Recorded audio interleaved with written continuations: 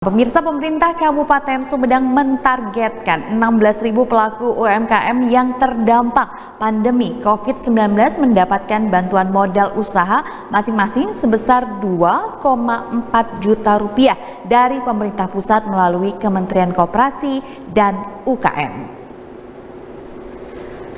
Wakil Bupati Sumedang Erwan Setiawan meminta Dinas Koperasi dan UKM Kabupaten Sumedang membantu membangkitkan kembali pelaku UMKM di Sumedang yang terdampak pandemi COVID-19.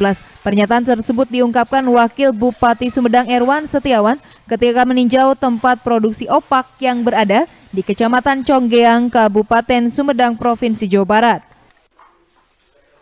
Menurut Erwan Setiawan, sebagai bentuk perhatian terhadap dunia usaha terutama UKM, pemerintah pusat melalui Kementerian Koperasi dan UKM sudah menggulirkan bantuan sebesar 2,4 juta untuk masing-masing pelaku UMKM di Kabupaten Sumedang. Berusaha untuk membantu pemulihan ekonomi ini dengan cara meningkatkan perekonomian tingkat UKM ini. Ya sekarang pun uh, mulai tanggal 17 Agustus kemarin sudah mulai digulirkan bantuan untuk UMKM UMKM uh, sebesar 2,4 juta per UMKM.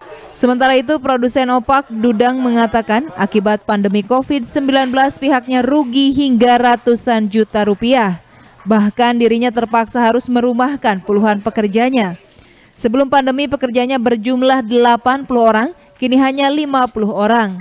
Dirinya mengaku membutuhkan bantuan modal agar usahanya tetap bertahan dan bisa merekrut kembali para pekerjanya. Uh, yang diperlukan memang banyak ya, yang diperlukan termasuk kami kan akibat COVID ini ini kemarin rugi ratusan juta ya, lebih gitu lebih lebih itu karena kita juga harus memikirkan karyawan ya. Kita hidup dengan karyawan, apa pun kita dengan karyawan itu kan karyawan itu adalah saudara kita, teman kita, dan juga sahabat kita. Jadi di sini kita nggak bisa berdiam diri karena COVID kita memberhentikan begitu saja ke karyawan.